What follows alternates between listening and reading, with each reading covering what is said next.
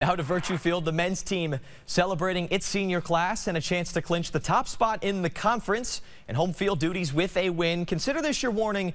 You're about to see a lot of UVM goals in a flash. David Klosterman extending the Catamount lead in the first quarter right there with the underhand. To the second we go. Carson Boyle opening up the frame with a goal. That would make it 8 to nothing UVM. Later in the second, Brock Haley wants in on the party.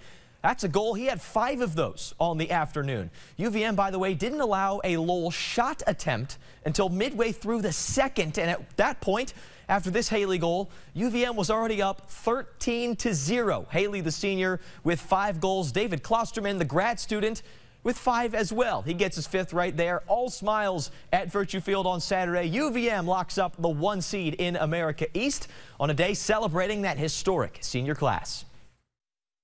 We worked all week for this to, you know, be prepared to play our best on uh, Saturday, and I'm happy that we did as a team.